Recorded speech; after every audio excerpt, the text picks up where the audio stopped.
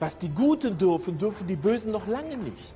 Stellen Sie sich mal vor, der Putin hätte das Handy von der Merkel abhören lassen. Da würde der Generalstaatsanwalt jetzt nicht gegen Unbekannt ermitteln. Die Grünen sagen nie Krieg etc. Und dann Joschka Fischer und Schröder machen 1999 mit dem amerikanischen Imperium mit und bombardieren Serbien. Völlig illegal. Ein illegaler Angriffskrieg.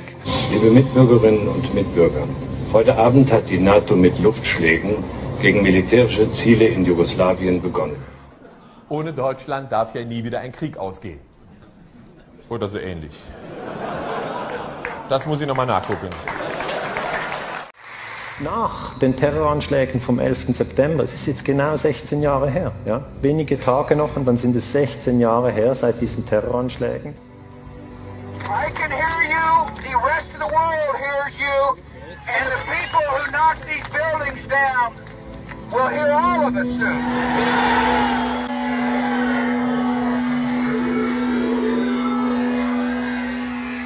Also es ist, ist wirklich so, ich habe das wirklich untersucht, ich habe sehr viel zu 9-11 geforscht. Und da haben die amerikanischen Medien gesagt, die Flieger sind in die Twin Towers reingerast. Und unten, unten an den Twin Towers fand man den Pass von einem Attentäter, der also angeblich im Flugzeug saß und mit dem Flugzeug in, da muss man sich das rein physikalisch vorstellen, was für ein Glück, was für ein Glück. Und dann kommt die gleiche Nummer, kommt bei der Andromeda, oder? Dann sage ich immer, also wenn man ja jetzt zum Beispiel sich in den Kopf reinversetzt von so einem Attentäter und denkt, heute sprengen wir die Nord Stream, habe ich den Sprengstoff, ja, habe ich denn äh, das Tauchgerät, ja, was fehlt mir noch? Ah, Pass, ja. Das ist wirklich dieses ganze Narrativ, das uns immer vorgesetzt wird, ist schon irgendwie auch eine Beleidigung des, des, Genau, des, des aufgeklärten Denkens. Die Amerikaner haben nach den Terroranschlägen vom 11. September 2001 nicht einen ganzen Monat gewartet. Schon am 7. Oktober 2001 sind die in Afghanistan eingefallen. Die Schlacht wird jetzt an vielen Fronten geschlagen. Wir werden nicht wanken, wir werden nicht nachlassen und wir werden gewinnen. Frieden und äh, Freiheit werden sich durchsetzen. Vielen Dank. Die Terroranschläge vom 11. September sind nicht geklärt. Trotzdem ist die Bundeswehr nach Afghanistan gezogen. Auf der Basis eines nicht geklärten Terroranschlags. Oh, das ist wie die Eröffnungsszene in Star Wars mit all den verrückten Typen, die durch die Gegend laufen. 50 Länder schließen sich der von den USA geführten Intervention an. Ein Bündnis, das auf mehr als 100.000 ausländische Soldaten anwächst. Jetzt kommt erschwerend hinzu, die waren so lange nicht im Ausland, die deutschen Soldaten, die wissen gar nicht mehr, wie man sich als Soldat da benimmt. Jetzt haben die sich daneben benommen in Afghanistan. Riesenskandal. Es hieß obszön, obszön. Ich dachte, was ist los? Der Verteidigungsminister sagte, was die deutschen Soldaten gemacht haben, wäre obszön, unentschuldbar. Ich dachte, was haben sie gemacht? Obszön, was haben sie gemacht? Haben sie Kameraden missbraucht? Ich meine, das machen sie ja gerne. Gehört ja zur Grundausbildung, haben wir ja gelernt. Obszön, was haben sie gemacht? Haben sie Kinder über den Haufen geschossen? Haben sie Frauen geschändet? Was haben sie gemacht? Nö, sie hatten überhaupt nicht geschossen. Schnappschüsse hatten sie gemacht. Haben den Leuten die Motive nicht gefallen. Wenn die Amerikaner Kinder über den Haufen schießen, fragt keiner nach den Motiven. Die sind immer ehrenwert. Bei unseren Fotos kommt es auf die Motive an. Die Deutschen waren völlig entsetzt. Viele haben gesagt, wieso eigentlich deutsche Soldaten in Afghanistan? Ich dachte, das wäre die Bundeswehr da. Das sind doch keine Soldaten, ich bitte Sie. Das haben wir doch gelernt. Bundeswehr, das sind Staatsbürger in Uniform. Menschen wie du und ich. Menschen mit innerer Führung, die einfach Spaß haben, in der Uniform rumzulaufen.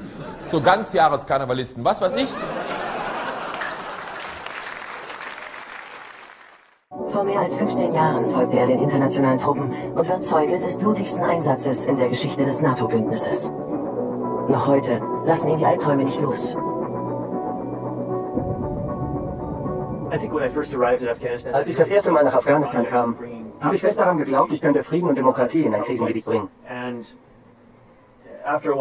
wurde mir klar, dass das nie passieren wird. Im Gegenteil, wir, die Ausländer, waren ein großer Teil des Problems. we, the foreigners, were a big part of the problem. Osama Bin Laden, inzwischen international gesuchter Terrorist, erkauft sich Einfluss in der neuen Gruppe.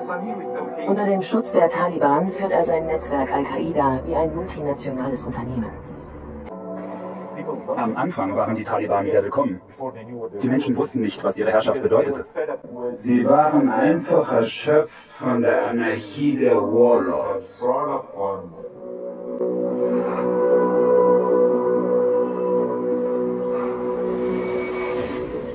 Die Taliban gehen gegen die rivalisierenden Mujahedin-Kämpfer vor und werden schnell zur stärksten Kraft im Chaos. 1996 erobern sie Kabul und den größten Teil des Landes. Noch ist wenig über sie und ihre Ziele bekannt. Alle sprachen davon, dass die Taliban da sind. Und ich fragte mich, was sind die Taliban? Sind sie anders als wir? Ich schaute durch die Türspalte, um zu sehen, ob die Taliban auf der Straße sind, um zu sehen, wer sie sind. Und da waren viele bärtige Männer mit weißen Turbanen. Kaum an der Macht lassen sie einen Großteil der Mädchenschulen schließen, verbieten Musik und Fernsehen, zwingen Frauen, die Burka zu tragen.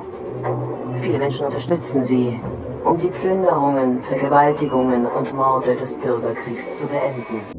On my orders, the United States military has begun strikes against Al-Qaeda terrorist training camps and military installations of the Taliban regime in Afghanistan. The name of today's military operation is Enduring Freedom. Die Feindbilder, die wechseln sehr, sehr schnell. Ich finde, das Muster ist ziemlich offensichtlich. Es wird eine Angst erzeugt, Angst vor muslimischen Terroristen.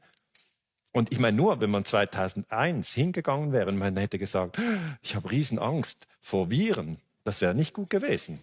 Aber wenn sie da ist, tut sie so, als wäre sie die einzige und für immer und die allgemeingültige. Und, und sie wechselt ab. Und wer schon länger dabei ist, der kann doch das sehen. Ja. Zuerst ist Angst vor muslimischen Terroristen, äh, dann ist, ist, ist, ist Angst vor Viren. Jetzt müsst ihr zusammenkommen gegen Putin demonstrieren. Dann sagen sie, aber gestern habt ihr gesagt, wir sollen nicht. Ihr braucht nicht selber nachzudenken. 2003, ähm, Irakkrieg, habe ich schon gesprochen, mehr als eine Million Tote seither im Irak. Ja. Das ist ein Unterschied, ob die Amerikaner den Irak plattbomben, dann da einmarschieren, ein paar hunderttausend Menschen umbringen und dann sagen, ach, der Hussein hatte die Atomwaffen ja wirklich nicht. Ja, shit happens. Viel Spaß damit auch im kaputten Land. Oder ob der Putin auf der Krim die Menschen darüber abstimmen lässt, von wem sie unterdrückt werden wollen. Am 7. Oktober 2001 greifen US-Truppen Afghanistan an.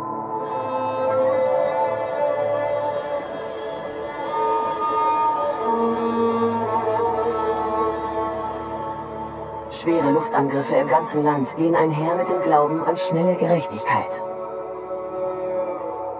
Das muss man den Amerikanern lassen. Sehen Sie, die, die, die peinigen ihre Feinde nicht mit so lächerlichen Schauprozessen. So eine amerikanische Drohne, die stellt Anklage, Urteil und Vollstreckungsbefehl in einem zu. Und zwar weltweit. 20 Jahre Blutvergießen sind immer noch nicht vorbei. Während die Gewalt in Afghanistan anhält, ziehen die internationalen Truppen ab. Die USA haben ein Friedensabkommen mit den Taliban geschlossen. Ein historischer Wendepunkt.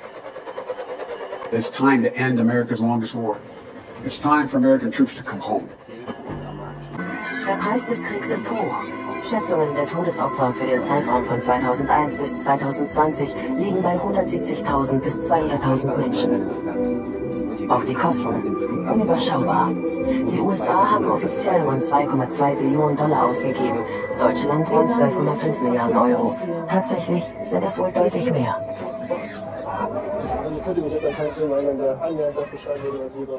Und ich habe da eigentlich über die letzten Jahre, weil mich das immer interessiert, wie das funktioniert, habe ich schon bei 9-11 gesagt, da wird ja eine Angst gemacht ohne Ende, oder?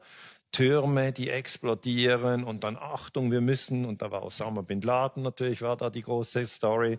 Und die Bu Bu Bu Bundeswehr muss unbedingt 20 Jahre nach Afghanistan und auch dort, wie bei Corona, gab es keine gründliche Analyse, sondern man hat einfach gesagt, hier ist eine große Angst, die Regierung sagt, was Sache ist.